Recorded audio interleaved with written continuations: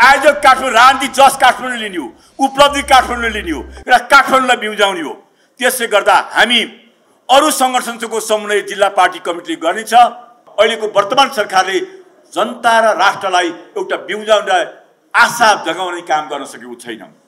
त्यो आशा जगाउने काम गर्न नसकेको कारणले गर्दा यो आशा अरू कसैले पनि जगाउन सक्दैन। त्यो नेकपा एमाले मात्रै यो आशा जगाउन सक्छ अरू सक्दैन। पुरै मेलम्चीको उद्घाटन त भयो। पटक पटक पाँच पटक भयो। तर पानी परे बाढी आएको बेला यो पानी फेरि चार महिना आउँदैन। यो अस्थायी व्यवस्थाले काठमाडौँलाई पा पानी दिन सक्दैन। अहिले कम्युनिस्ट पार्टी र मार्क्सवादप्रति मान्छेको विश्वास छैन। नेकपा एमाले र युवा बिचको तालमेल छैन। नेकपा एमालेको सिद्धान्त नीति र कार्यक्रमको बिचको तालमेल छैन। नेकपा एमालेमा युवाहरू परिचालित छैनन्। नेकपा एमाले जनताको सरकारको मुद्दा उठाउन सकेको छैन। युवा भेला सञ्चालन गर्दाखेरि मोटिभेसनल स्पिच स्पिकर पनि आवश्यक पर्छ भने हामी त्यो मोटिभेसनल स्पिकर पनि तपाईँको पालिकामा पठाउने छौँ। हाम्रा बोली मात्रै युवालाई तान्न सक्दैन भने अहिले मुलुकमा आर्थिक रूपमा असफलता छ राजनीतिक रूपमा असफलता छ सामाजिक रूपमा असफलता छ र वैदेशिक सम्बन्धको बारेमा असफलता छ। तिनवटा एजेन्डामा बैठकमा छलफल गर्न यो बेला राखिएको छ। र तिनवटा एजेन्डाहरू यहाँहरूसँग प्रस्तुत पनि भइसके निर्णय पनि भइसकेका छन्। अध्यक्षले प्रस्तुत गर्नुभयो युवा महोत्सवको बारेमा। बागमती धाप पदयात्रा अभियानको बारेमा उद्धव भण्डारीले प्रस्तुत गर्नुभयो र इतिहास लेखनको बारेमा कृष्ण राई र विदुर चालिसीले प्रस्तुत गर्नुभयो। अब मेरो भाग भागमा त्यस्तो धेरै केही छैन किनभने आजको एजेन्डै यति नै हुन्। यति एजेन्डा प्रस्तुत भइसकेका छ यी एजेन्डाहरूमा साथीहरूले अनुमोदन पनि गरिसक्नु भएको छ। कमरेडहरू यति बेला काठमाडौँका पार्टी कार्यकर्ताको पार्टीप्रतिको प्रतिबद्धता लगनशीलता समर्पण र क्रियाशीलता अहिले देखेर हाम्रो अरू जिल्लाका मान्छेहरू लोभ गर्ने गर्छन्। त्यसैले काठमाडौँ अहिले साँच्चै रूपमा पार्टी चलायमान भएको छ र अत्यन्त धेरै गतिशीलताका साथ हाम्रा पार्टी कार्यकर्ताहरू आफ्नो क्षेत्रमा खट्नु भएको छ र केन्द्रीय कमिटीका सम्बन्धित तहका इन्चार्जहरू पनि क्रियाशील ढङ्गले खट्नु भएको छ। प्रदेश कमिटीका साथीहरू पनि खट्नु भएको छ र जिल्ला कमिटीले पनि त्यही अनुसार समन्वय र व्यवस्थापन निर्देशन गरेको छ। यस अर्थमा म सम्पूर्ण यो हलमा उपस्थित केन्द्रदेखि स्थानीय तहसम्मका पार्टी कार्यकर्ता हार्दिकतापूर्ण धन्यवाद दिन चाहन्छु आभार व्यक्त गर्न चाहन्छु। यो क्रियाशीलतालाई अझै निरन्तर बढाउनको लागि म आग्रह र अनुरोध पनि गर्न चाहन्छु।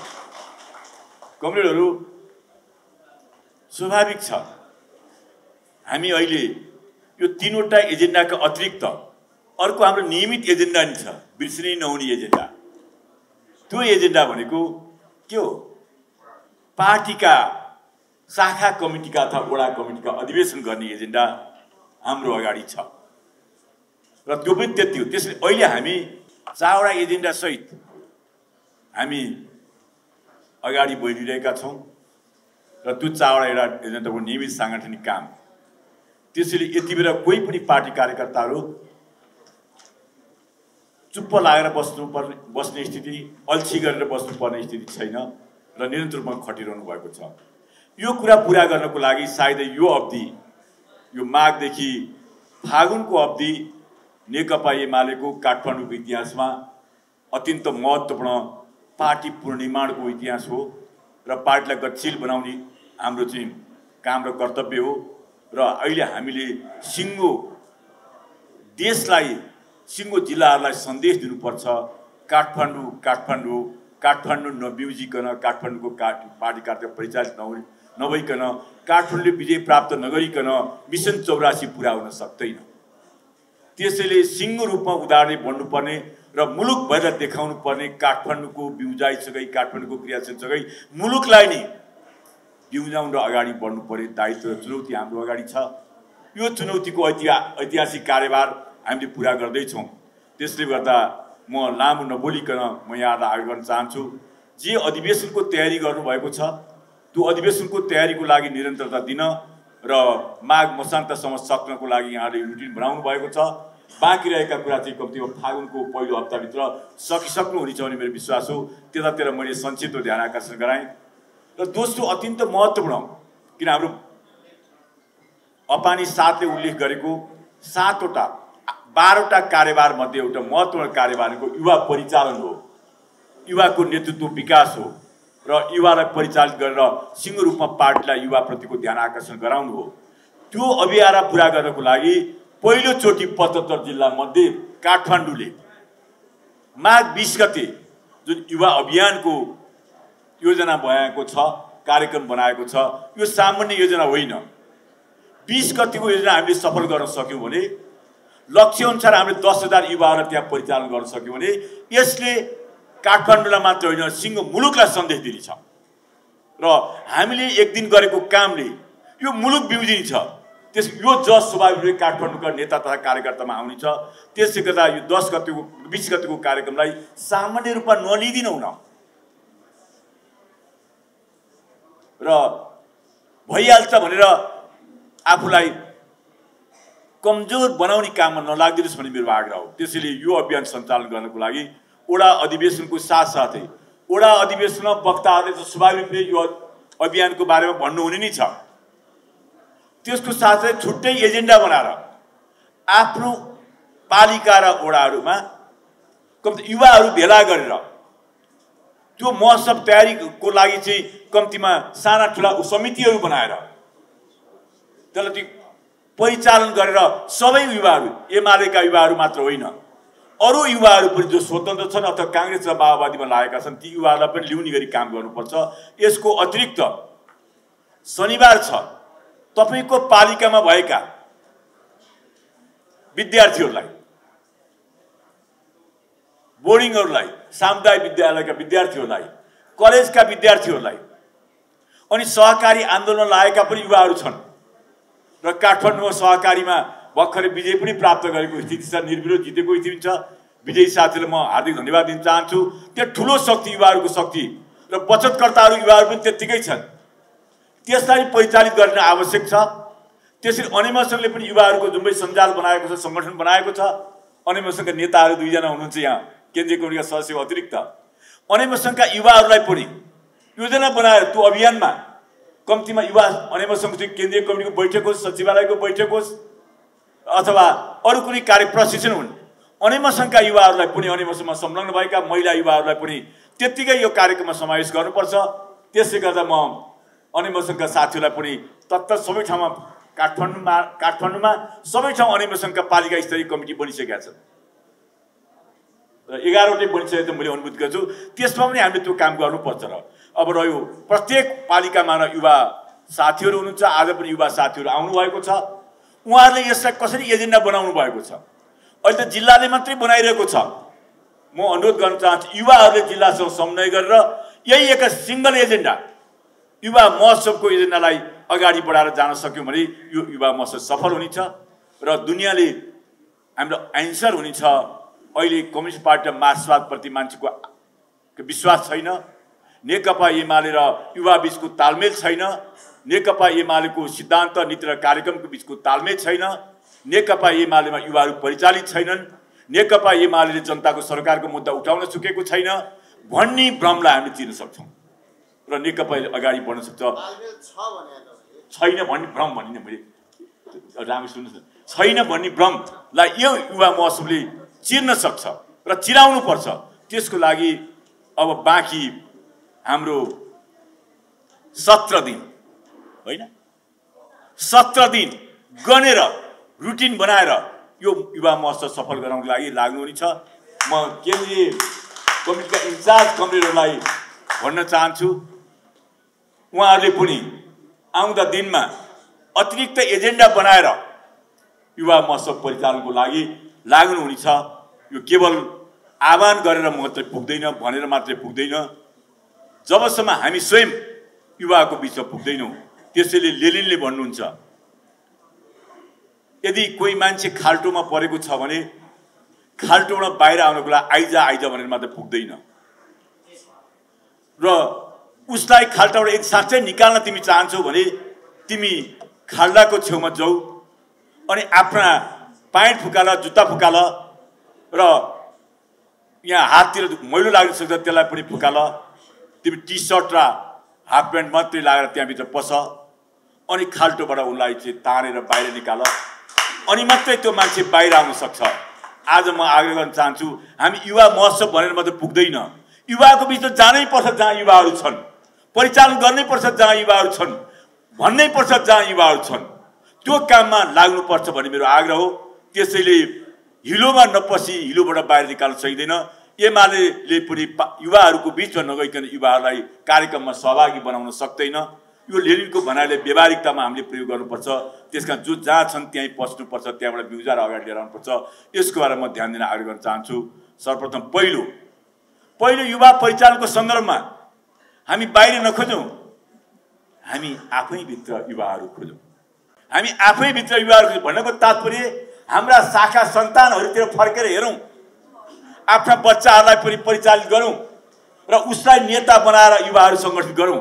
उसका विद्यालयका साथी हुन्छन् कलेजका साथी छन् क्लबका साथी छन् जिम गर्न जाँदाहरूको साथी छन् विभिन्न ठाउँमा चाहिँ बसेका छन्। कहिलेकाहीँ डिस्को अथवा डान्स बारमा जाँदाखेरिका साथी सोन ती साथलाई समेट्ने गरी आफ्ना छोराछोरीलाई पनि नेतृत्व कुशलता विकास गर्ने अवसर हो यो अहिले।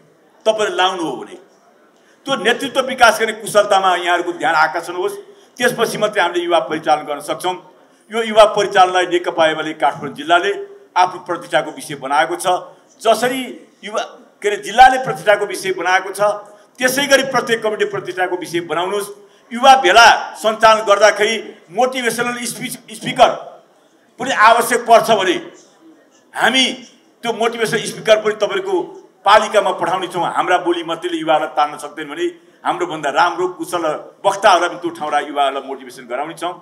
त्यसको साथसाथै अहिले पालिका पालिका स्तरीय शिक्षक सङ्गठनहरू बनेका छन्।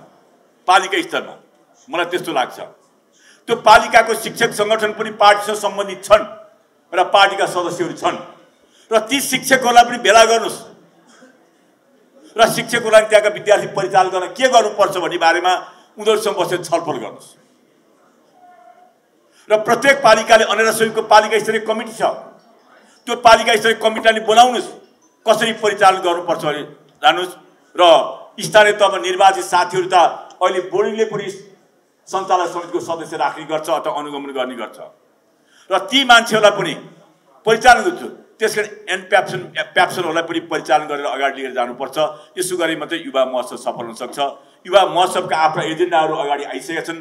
हामीले ती पब्लिकली ती एजेन्डालाई सार्वजनिक गरेर तपाईँहरूको अगाडि ल्याउँछ र सबै खालका युवाहरूलाई परिचालन गरेर अगाडि लिएर जान सक्छौँ। किनभने अहिले समाजमा एउटा बहुत चुनौती छ त्यो निराशता फ्रस्ट्रेसन।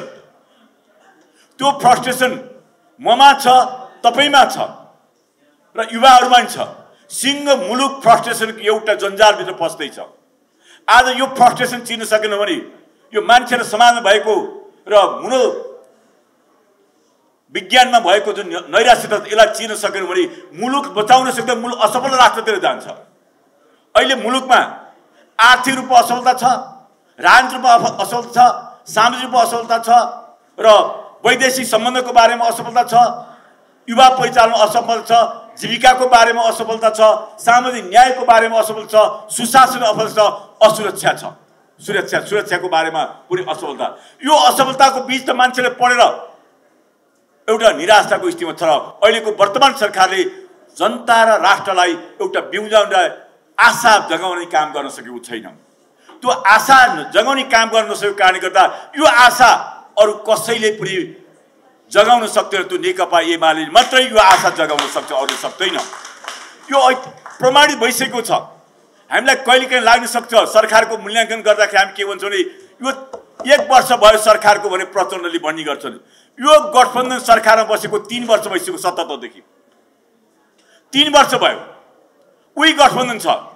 त्यसै यो तिन वर्षका आर्थिक सामाजिक राजनीतिक मूल्याङ्कन गऱ्यो भने नकारात्मक छ। यो गठबन्धनको एउटै मात्रै ध्येय हो नेकपा एमालेलाई र हाम्रो पार्टीका सदस्य नेता केपी शर्मा ओलीलाई विस्थापन गर्ने नेकपा एमालेलाई विस्थापन गरेपछि राष्ट्रियताको मुद्दाको विस्थापन हुनेछ। स्वाधीनताको मुद्दाको विस्थापन हुनेछ संविधानको रक्षाको मुद्दाको विस्थापन हुनेछ र सामाजिक न्याय र समृद्धिको मुद्दा विस्थापन हुन्छ। युवाहरू फ्रस्ट्रेसन आउँछ र अनि त्यसपछि मुलुकमा राजनीतिक अस्तित्व खडा गरिन्छ। यसको लागि विदेशीहरू चालिएका छन्। विदेशीको गोटी वर्तमान सरकार बनेको छ।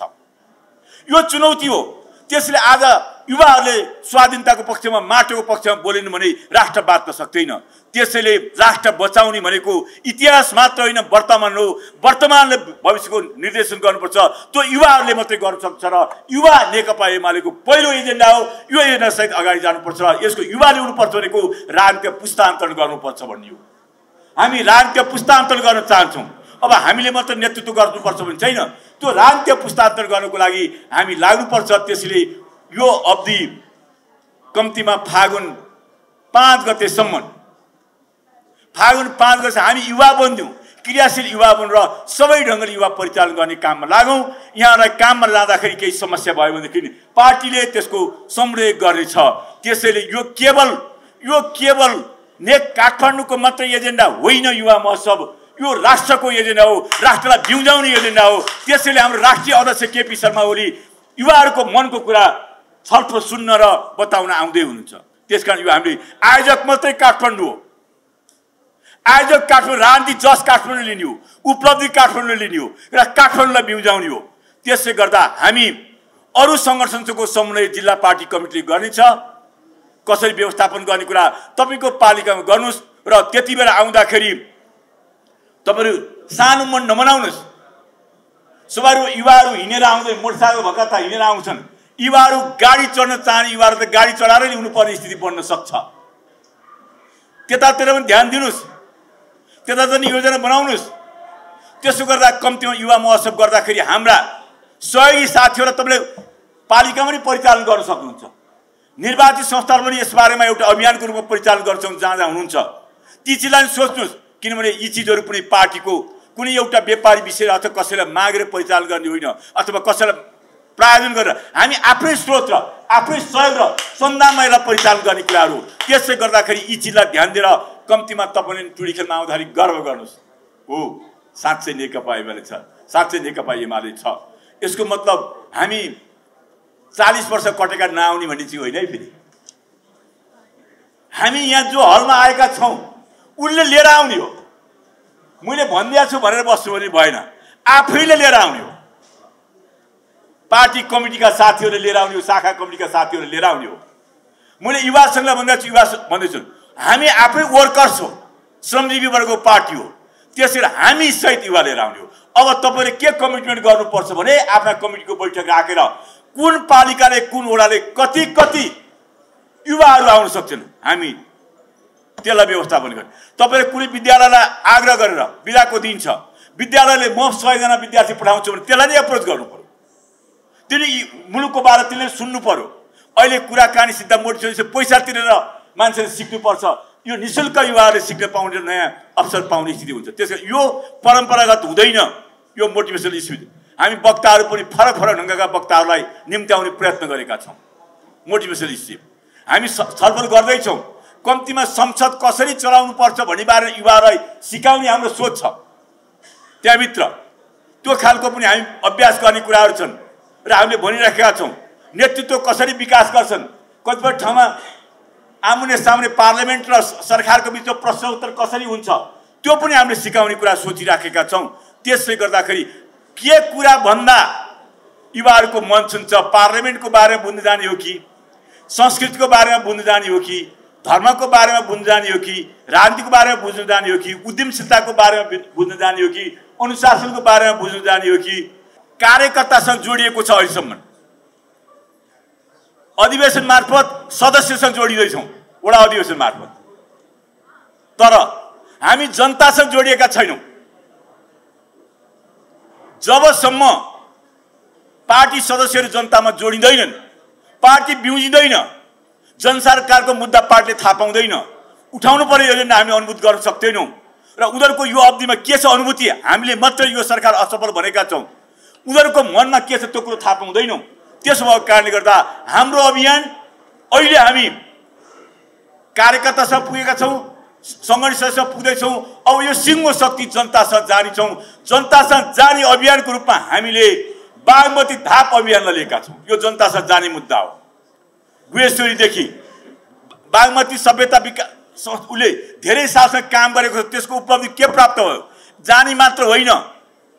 बहुत ठुलो रकम खर्च भएको छ। गुहेश्वरीमा अफिस राखेर भएको खर्च गरेको धेरै वर्ष भयो। त्यसले उपलब्धि के दियो? पैसा खर्च गर्ने जति उपलब्धि दिन सकेको सही छैन? त्यो नेकपा एमाले खोज्ने छ त्यसको ब्रिफिङ लिने छ। त्यसपछि त्यो मुद्दालाई त्यसबाट प्रभावित क्याचमेन्ट एरियासम्म पुग्ने छ। त्यहाँका वरिपरिका जनतालाई परिचालित गरेर काठमाडौँलाई खानेपानी आत्मनिर्भर बनाउने छ। बनाउनको लागि कम्ती ध्यान आकर्षण गरिन्छ। र मेलम्ची बाढी आएको बेला अहिले पनि मेलम्चीको उद्घाटन त भयो। पटक पटक पाँच पटक भयो। तर पानी परे बाढी आएको बेला यो पानी फेरि चार महिना आउँदैन। यो अस्थायी व्यवस्थाले काठमाडौँलाई पाल पानी दिन सक्दैन। स्थायी व्यवस्था गर्नुपर्छ त्यो स्थायी व्यवस्थाको लागि काठमाडौँकै मन संरक्षण गर्नुपर्छ भन्ने सोच हो। त्यस कारण यो जनतासँग जोड्ने विषय हुन्। जनतासँग जोड्नको लागि यो अभियान थालिएको छ।